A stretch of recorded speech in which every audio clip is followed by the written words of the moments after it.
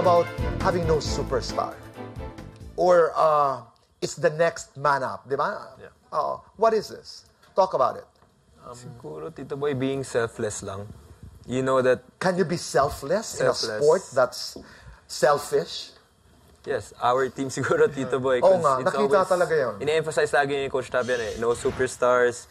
Uh, you're gonna win as a team. Kaya nga team sport ang basketball eh. You win as a team, you lose as a team. And uh, kung, kung pagkakamali nga lang ng isang player yan, lahat ng team, ah, buong team pagkakamali niyan. So, siguro we just follow the system of Coach Tab. Which is Sharing, sharing, the ball. sharing the ball. And Ba- being pero hindi ba disadvantage yan na mindset mo halimbawa, hindi ako pwedeng buwakaw dito, kaya I have to share the ball. When in fact, you can make a point by. You know, it can work the other way around. Well, Tito Boy is actually an advantage for us kasi because when we're being scouted by the teams, they don't know who's gonna s- step up. Kaya nga, next man up.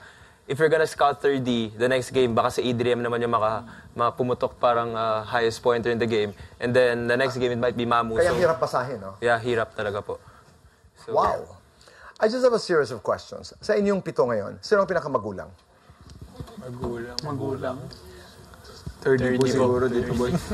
Di ba, it's, it's parang clipping the opponent's arm. I mean, it's, it's an art. Parang, how, how do you do it? Depende po eh. Pero tinuruan po ako ng tatay ko. eh.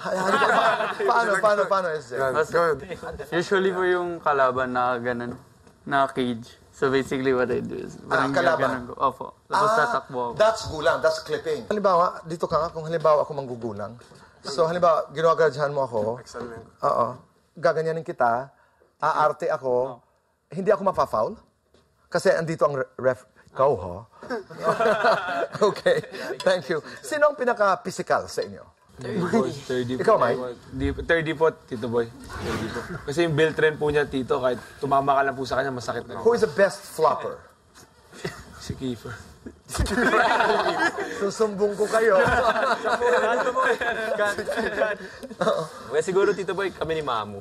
When do you do it? Kasi, uh, depends, uh, uh, in the moment na lang din, Tito Boy, kasi depends din sa situation in game. Like, for example, we got called na par- for faking a foul. So, hindi na kami, hindi na kami flop kasi next time na mag-flop kami, technical foul It kami. takes a lot of acting skill. That's why they call it the art of flopping, Tito. Oo. Kasi it's like a gift. It's It like is. a talent na my, um, Matt and Mamu uh, have na when they play basketball, ang galing po talaga And to nila. add, Tito Boy, usually ginagawa rin namin ni Mamu is we talk to the ref. Uh, parang to let them know na tinutulak na kami. So parang may parang uh, sa psych na Okay. alam na ng referee. So when happens, bigla na lang niya pipituan kasi nasabi na namin, na-inform na namin siya. Na-warning na namin siya. eh. Okay, who's the best trash talker? Si Mike. Ikaw, Mike. Lalo na po nung nagalit, pag magalit Mainit na lang po, po pag yung mainit na po ulo. Sino ang pinakapikon? Ay, wala. Si Ir- Ano ang worst na isinigaw sa inyo na, ng tao, ng nanonood? Yan, yung pag minumura po. Talaga? Nakaka-apekto yun. Di naman. Hindi hindi naman. Naluluha lang po si Isaac na konti. No, but it takes a lot, takes a lot of control, di ba? Eh, nadidinig mo eh. Pero hindi nakaka-apekto sa inyo yun.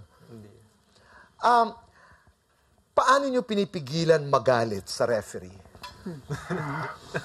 Tumitingin na lang po kami kay Coach Tab, Tito Boy. Oo, Totoo yun. Siya na po yung nagagalit for Siya na us. po yung nagagalit. Oo. You know, I was told, I was taught last night a term, posterized dunk. Nahuli ka nun, uh, 30. You know, there's a Kobe, what was it, Kobe? No, no, it was Jamie Malonzo. Okay, and then parang, Um, well, what happened was, turnover ba? I think we committed a turnover. and then, And then, it was a long rebound na kumbaga, ahead na si Jamie sa akin by a step. Which is why, um, I, but I still tried to go for it kasi I, I really don't want to give the opponent an easy Right. bucket. And it just so happened na he was freakishly athletic and he dunked on me. Which would, which is, um, which It became a meme. Yeah, it became, of course, uh, became a meme, it became a highlight clip na parang Naging hindi kultura nawala. eh, no? Na hindi siya nawala for a while. okay. Do you guys b- believe in luck? We believe na the harder we work, the luckier we get. What about the swag? Dapat dito, boy, may konti kang swag sa loob ng court.